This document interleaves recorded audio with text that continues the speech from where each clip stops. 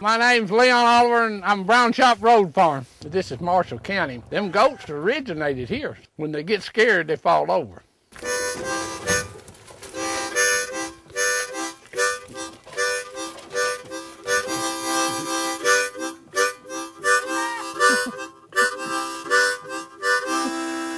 Sometimes when they go to jump, they'll stiffen up and it scares them because they ain't been doing it.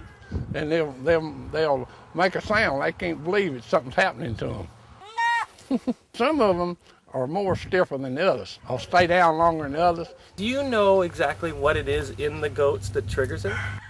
Oh, they call it, uh, they've got a name for it. Uh, they've been studying on it. It starts with an M. I can't remember the.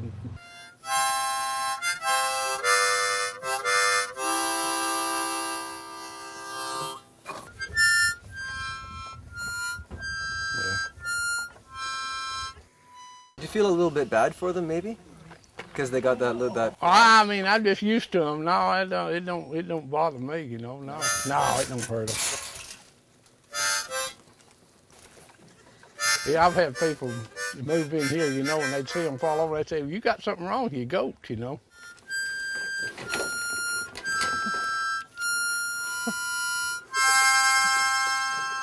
Original from Marsh County, the stiff-legged goat, the nervous goat. Yeah.